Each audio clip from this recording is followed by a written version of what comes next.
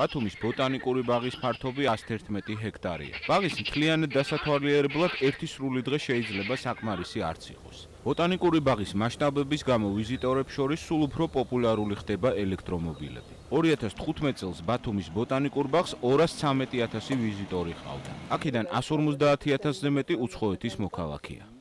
ორი ერთეული კიდე ემატება ელექტრომობილი, სულ 6 ელექტრომობილი იქნება უახლოეს პერიოდში ჩვენს ავტოფარეხში ელექტრომობილების სახით.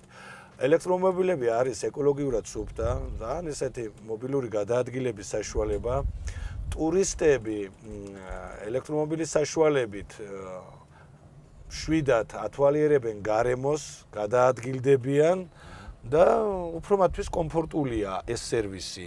ბოტანიკურ ბაღში ლანდშაფტურ გეოგრაფიული პრინციპით შექმნილი ცხრა განყოფილებაა. სცენარეთა კოლექცია 5000-ზე მეტ სახეობას მოიცავს.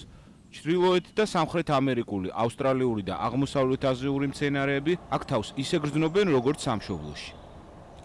ერთ-ერთია ესეთი კოლექცია, მრავალრიცხოვანი კოლექცია გახლავთ ჩრდილო ამერიკის კოლექცია ჩრდილო ამერიკული წარმოშობის მცენარეები. ეს გახლავთ წყნარი ოკეანის დასავლეთი, აღმოსავლეთ ნაწილი და აი ეს კოლექცია დღეს ფაქტიურად როგორც თავიანთ სამშობლოში აღწევენ ზომებს, უფრო მეცაც იშვიათ შემთხვევაში უფრო მეცაც კი აღწევენ.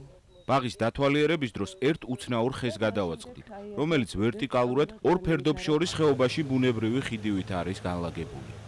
ჩრდილოამერიკული ტიტასხე 1985 წელს დითოლობის შედეგად წაიქცა, მაგრამ მან სიცოცხლე მაინც განაგრძო და დღეს ის ბათუმის ბოტანიკური ბაღის ერთ-ერთი სიმბოლოა. ბოტანიკური ბაღის პრიორიტეტებს შორის განსაკუთრებული ადგილი კოლხეთის ენდემური სახეობების დაცვას და გამრავლებას უკავია. ბევრს გონია, რომ მარაბწვანე შეიძლება იყოს მხოლოდ ხე ან ბუჩქი. კოლხეთი იმიტოა გამორჩეული, რომ ჩვენ გვაქვს უამრავი ბალახოვანი სახეობა, რომლებიც მარაბწვანეა. შეიძლება თქვენს გაგიკვირდეთ. პრიმულა მეგაზეიფოლია მაგალითად, ფურისულა, ეს მარაბწვანეა, ჩიტიწვივა, ესეც მარაბწვანეა. ეს არის ძალიან მნიშვნელოვანი ფაქტი, ბუნებაში, როდესაც მარაბწვანე ბალახოვანი სახეობები ფიქსირდებიან, მიუთითებს ამ რეგიონის განსაკუთრებულობაზე. აქედან იწყება ბაღი. ბათუმის მსგავსად ბაკურიანის ბაღსაც დიდი ისტორია აქვს. ის მე-20 საუკუნის 10-იან წლებში დაარსდა. ბოტანიკური ბაღის ძირითადი მიმართულება კავკასიის მაღალმთიანი ფლორის ინტროდუქცია და შესწავლაა. ბაკურიანის ბოტანიკური ბაღი ზღვის დონიდან 1700 მეტრზე მდებარეობს. ბუნებრივი პირობების გამო აქ მხოლოდ მთის ფლორა არის წარმოდგენილი. სახეობების ძირითადი ნაწილი კავკასიის რეგიონიდან არის, თუმცა აქ შევხვდებით ასევე კარპატების, ალთაის და შორეული აღმოსავლეთის მცენარეებს. ახალი მცენარეები ვეღარ შემოდის, იმიტომ რომ დაფინანსება არ არის. და არის ეს რაც გვაქვს ეს მცენარეები, ამას ვინარჩუნებთ. რომ არ გადაგვარდეს, არ გადაჯიჭდეს და უვლით რაც შეგვიძლია. ესე რამდენი სახეობა არის?